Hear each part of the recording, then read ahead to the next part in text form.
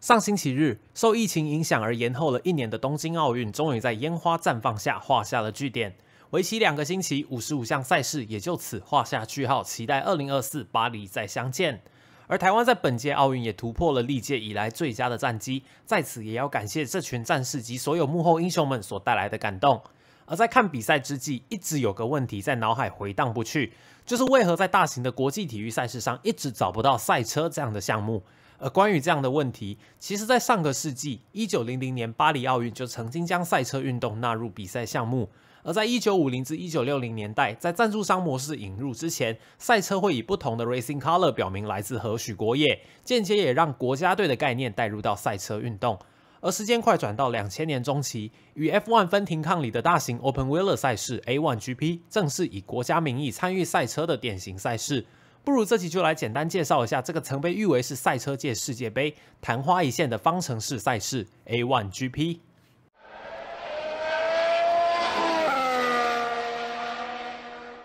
A1GP 全名 A1 Grand Prix，整个赛事的渊源必须自2003年开始讲起，由当今杜拜酋长 Sheikh Maktoum 马克统亲王所提出的构想。并且在二零零四年三月正式发表了整个赛事的蓝图。在获得 FIA 的背书之后，于同年六月再与车体制造商 Lola、动力供应商 Zytec 及车胎供应商 Cooper 达成合作协议，并在仅四个月后，在法因堡航展正式公布了用于 A1 赛事的统规车辆。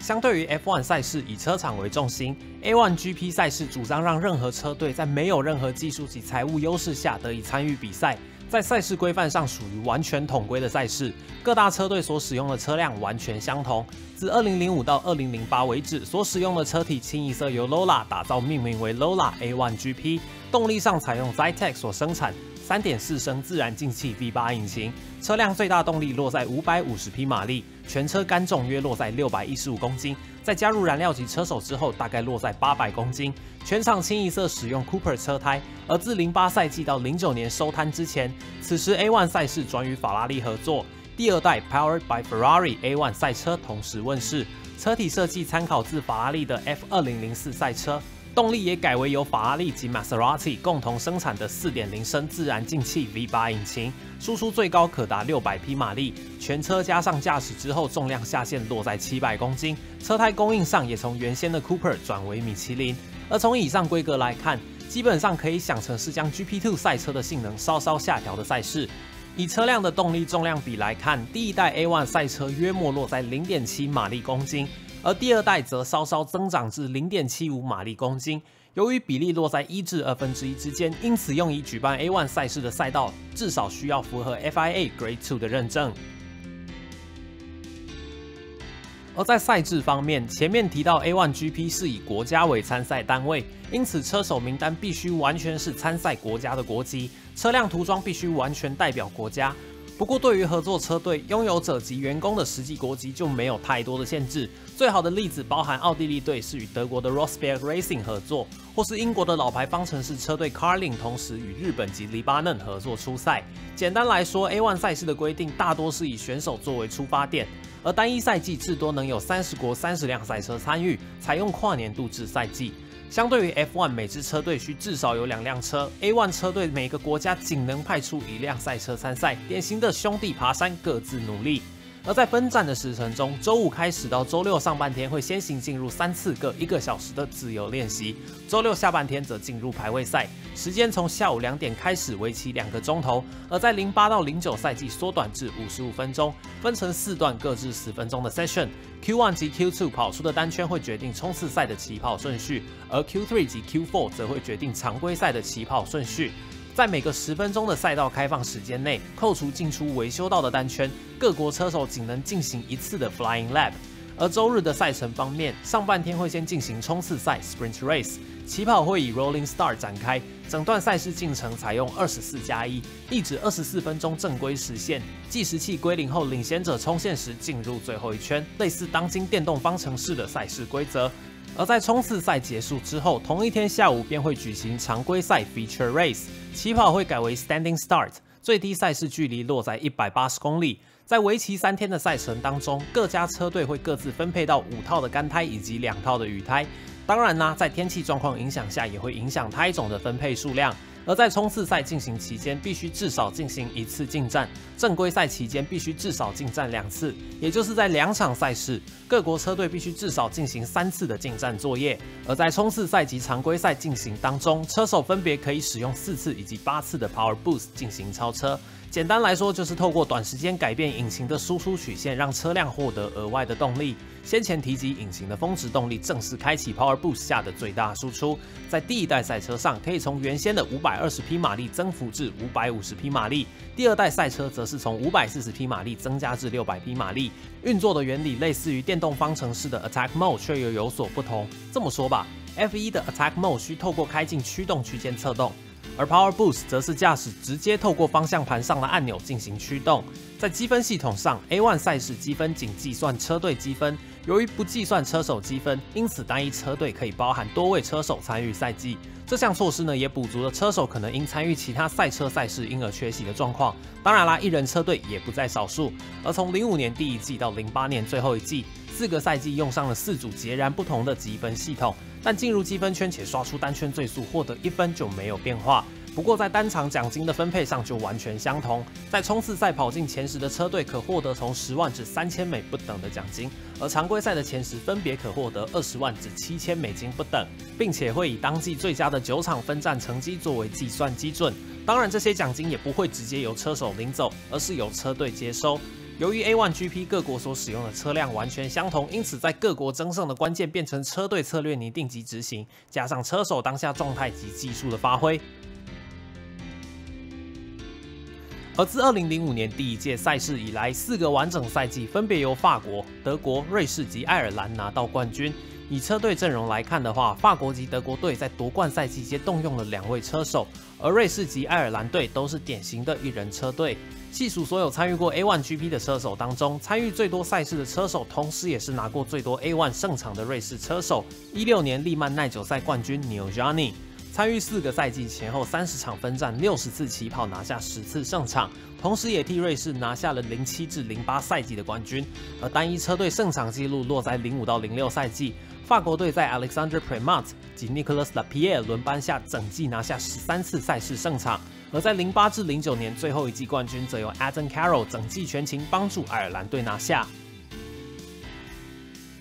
先前提到，由于 A1 赛车的性能跟 GP2 赛车差不了多少，赛事举办时一度有国家级 GP2 的称号。加上同为仅次于 F1 的出街方程式赛事，在零五到零九年之间，A1 赛场的确也出过许多未来在 F1 及耐久赛原型车组战功彪炳的车手，而其中后续发展最成功的，绝对非当今红牛的二把手 Sergio Perez 莫属。当今现役的 F1 车手当中，也就只有他跑过 A1 GP，曾在零五至零六赛季担任测试车手，并在当年中国站代表墨西哥队出赛。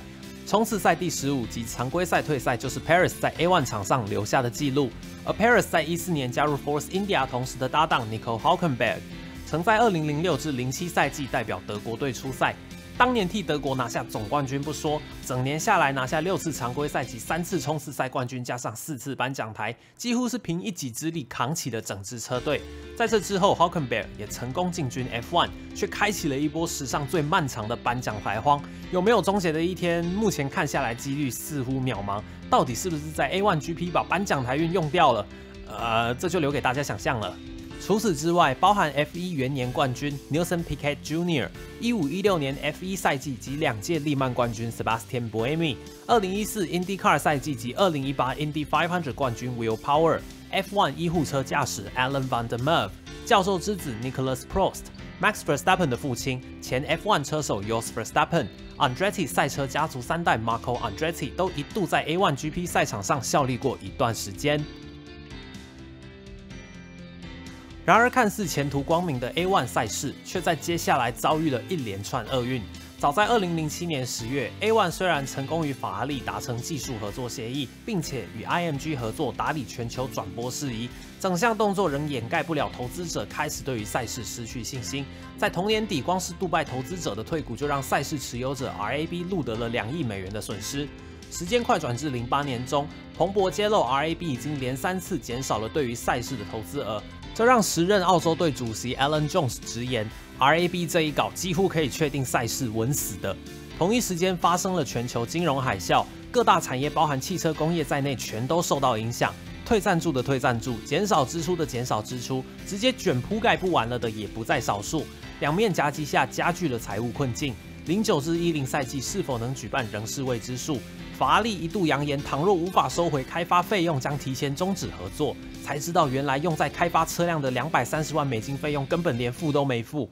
当然，最后赛季也没办成。在二零零九年十月二十五日，原定的澳洲开幕战宣布取消。自此之后，连带的整个赛季一并告吹，算是加速了 A1 赛事的覆亡。整个赛事在二零一零年初，在赛事主席 Tim Branstone 拿到车辆拥有权之后，进入清算阶段，A1 GP 正式走入历史。即便在二零一二年一度有过以 A10 为名复办类似赛事的风声，最终都只限于车圈之间的传闻，并无成事。而在 A1 GP 收摊之后，以国家为单位参赛的赛车赛事就此沉寂了一段时间。不过，就在2019年在意大利举办的赛车世运会后，以国家为单位的赛车赛事似乎又出现了一线生机。而提到 A1 赛事的退场，可以总归成三大原因：曝光低、收入惨、支出大。虽然说 A1 是打着赛车世界杯的名号举办赛事，然而在知名度上却仍远远不及方程式赛车等级最高的 F1。而一项赛车赛事的推广及发展，除了车粉的关注以及转播拓展收视，最需要的正是一众车厂积极参与。A1 GP 为求赛事公平，必须舍弃掉车厂竞争成分，在没有更多车厂的参与下，等同限制了赛事曝光度。A1 恐怕在此已经埋下了失败的因子。其次，恐怕就是整个产业共同的问题。赛车运动最大的支出，往往在车辆的开发及场地硬体新建及维护，而以上支出通常都数以百万甚至千万计。长久下来，自然出现了赛车是像烧钱的产业，用钱堆出冠军这类说法。惊人的开销加上其极低的可及性，基本上得以长期在赛车圈打滚的车队或车手，大多有车厂合作或是大型集团支持。对于本身没有汽车产业的国家来说，推广赛车难度自然高。其他赛事不说，就以 F1 来看，近代 F1 的车队基本上大多出自英国、法国、德国、日本、意大利以及美国，而以上的国家正好都是汽车生产大国。而在 A1，由于参赛单位是以国家为主，虽然各国在车手参赛时同时会带入赞助，但诚如先前提及，由于不是每个国家都有发展汽车工业，加上曝光度不足的情况下，对于赞助商的市场行销注意本来就不大，在收入跟支出严重失衡下，自然让赛事经营方难以为继，最终还是无法躲过收摊的命运。以上就是这次 A1 GP 的介绍。有鉴于奥运刚落幕，就先来介绍个相对陌生的赛事来应景一下。那么在影片结束之前，最后问大家一个问题，就是赛车到底能不能算是一种运动？欢迎大家在下方留言区分享自己的看法。那我们就下部影片再见，拜拜。